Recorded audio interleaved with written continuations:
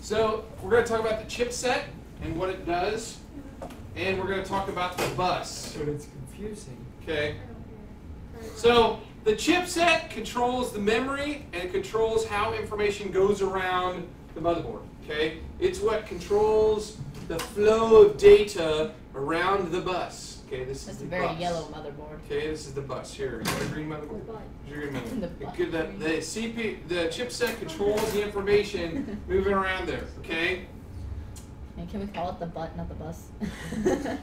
like What? Finding Nemo, You don't touched touch the the, butt. butt. That's a boat. The That's bus. Okay, so the, the bus controls the flow of information around the motherboard, and I have a little graphic okay. there, my picture of the bus. On the Okay, butt. there's two buses. There's two buses running on my motherboard. Okay, look at my cute little graphic I made. Not on the south side. Okay, so the schoolhouse is the CPU, okay? It's where everything needs to get. The information needs to get to the CPU, and there's two bus routes, So the children are the information. okay? Now, the speed, the motherboard has one speed. The road has one speed. There's not a speed limit, there's just a speed, okay? So, my motherboard, ha I don't know, I put the equal sign, has a speed associated with it in Equals half the speed. megahertz. Megahertz. Okay? That's the speed that information moves around the bus. Okay? What does this CPU have speed rated in? Gigahertz. What's faster, the CPU or the motherboard? CPU. Okay, CPU way faster. Okay? Way faster. So, Way faster. if this is way faster. Way faster. Okay, so if this has got a speed He's trying to say of. I'm going to give you a, a, a speed of 800 megahertz. Okay? Has a speed of 800 megahertz, which by the way, sy- I put equal, I don't know why. S- S-Y-N, syncs to the memory, okay? Nicole, did you The have too much coffee this motherboard, the motherboard and that, what? Did you have too much coffee this morning? I did have one cup. Okay, so the motherboard and the memory go at the same speed. They sync up.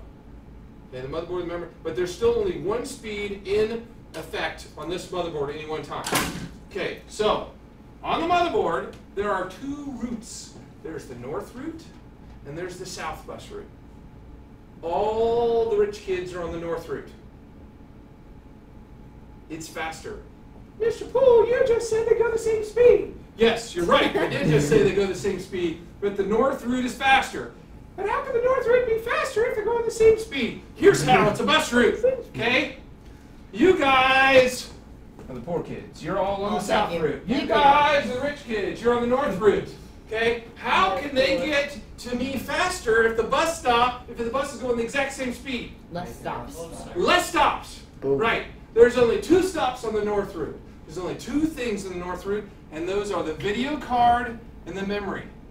Because those are the important two people that I've got to get back to me the fastest. Okay? So the CPU has its own route You can be the keyboard. to memory and the video card. Those the things mouse. need to get back to me really, really, really fast.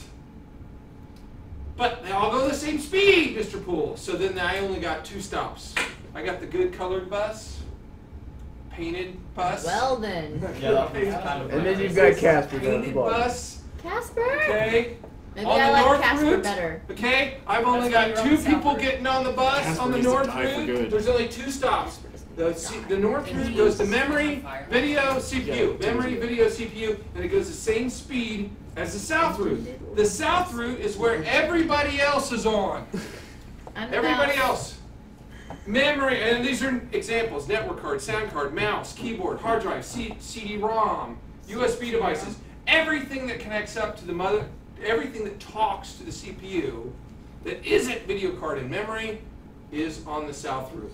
So yes, the data moves at the same speed, but here's the thing. The bus is this, a, a limited size. So if it has more stops, but it can only hold so much, once it's filled with kids, it just says, sorry, I'll get you next time, okay? It goes around, it goes around, it drops off its load at the CPU, and then it comes back around the bus route, okay? So we don't add more buses, we just make them come back up. And so if I got stuff and I come around here and Nico's got stuff, I go by and I go, sorry, and I drop off my stuff at the CPU, and then I come back around, and then I gotta come all the way back around, go in the same speed, can't change my speed, and then I pick up Casey, and then I drop off my stuff over here. Forgot Okay. sorry. You get my idea? Even though the bus routes go now. at a- this speed, can only hold so much information. You need to get like an actual video recorder. Well, That way know. you're not recording the board. You can record you. And I don't want me on the internet. Okay, so you get my We'll picture. So end up on YouTube. On the north route, there are only two bus stops. On the south route, there's however many bus stops there are information coming to record the, them on the tablet. back to the Yeah, CPU. I was gonna say, just do what I did in math a couple weeks ago. You can I'm gonna have it videotape. on video record. As long as it doesn't have sound. you can can videotape just watch someone. him and his crazy face. I don't make crazy faces. Okay, so uh, very simplified, extremely simplified version of what the buses are. But did I stick it in your brain at all? no, What? The idea of my picture and my it didn't help at all. graphics is to help you understand. Graphic. Stick it in your brain, okay? So CPU is where everything needs to get. I got two roots. Will you two quit playing squiggly hands or whatever you're doing? Okay, I got the video and the memory on the north bus route because they're the most important two students I have. And then I got Well everybody then, else. now on we the know south how you feel route. about us. Yeah. South bus route, okay? So, that is a uh-uh. finite speed, it's another more boring graphic of the same thing, okay? That I've got two theoretical routes, it's not like there's really, you know, they were called the north and the south bridge, it's not like it means one of them is north and one of them is south. You know, they intermix kind of on here, but if, I'm sure if you followed something around here, there would be something that came here and then over to there. or Spend a few hours trying to follow wires if you want to. So I got the video card of memory on the north. And I got everything else on the south. So if I give you a question on the test and I said, the hard drive talks to the CPU on the blank bus. Wow. South bus. South, okay? You think Or the hard drive South would be on the Bridge is what it's called, okay, so it's the South Bridge, but it's the bus. So I use those two synonymously, meaning interchangeable, so, okay? So, I've got two chipsets that control those, the north and the south chipset. The north chipset, because it's always handling more information, heats up and it's got a heat sink. The south one usually does not normally doesn't handle information that fast. Okay, so if I look at any of these, you're gonna have one with a heat sink and one without, one with a heat sink and one without. On a really, really, really, really cool gamer board, you might see heat sinks on both. But you're still gonna see a difference in the heat sink. The better heat sink that you see is on the north bus route. Okay, why does the north handle more traffic? Why does it handle more traffic? Because that has the two most load bearing ones. Okay, it has the two most load-bearing. Who who's the who's the only person that the CPU really only talks to? Uh, The memory. Okay, really it only talks to memory. Okay, really that's the only. There's actually a memory controller that sends stuff out to the video card. Really remember when it's when it's saving stuff, it's here is the primary action going on on your PC. Every time it reads and writes and it's processing stuff, it's talking to memory. So there's there's a boatload of movement going on here and, and less going on here. If I have a CPU that's 3.2 gigahertz and a bus that's 800 megahertz, what is my one problem I see on this computer? And this is a normal computer, by the way. Okay? What do I have? I have a bottleneck. Bottleneck. The CPU thinks of stuff, and it goes and it wants to talk to its buddy RAM, and dang it, if that bus ain't full. And I'm waiting for it to come back around empty so I can send some stuff over there to RAM. Okay? Now the bus can be different sizes. We have short buses and long buses. Okay? The short bus is a 32-bit bus, and the long bus is 64-bit bus. Okay? This one's twice as big as this one. You know what's it. Okay? Windows XP, every single operating system we've got almost, in this school works on 32-bit architecture. So, in other words, we're We're all all on the short short bus. Okay, the newest, the newest, newest one, and I'll, I'll be honest, most of the computers can handle 64. It's up to the CPU whether So the you CPU put does. us on short buses. Put you on the short bus because Windows XP was made to be a 32-bit operating system. That's- Okay, the newest one, Windows 7, is really made to be a 64-bit, but it still does 32-bit. So it's just 209 and 64? No, No? it's 32-bit as well. It's 32-bit Windows 7. Casey's confused. Okay, That's because she wrote the the short operating system that I installed. I'm not confused about this. No, Oh. he's confused. Why did that just start printing? Because Mr. Alexander prints to me now. The only Oh. he upgraded his operating system uh, for his Mac, and there are no Drives. drivers available for the other printers. That's the only printer in the school that he's got a driver for. So it's the only one he can print to anymore. So he will show up here in a minute looking for his printer. So yes, good answer. Everyone has said drivers. Yay.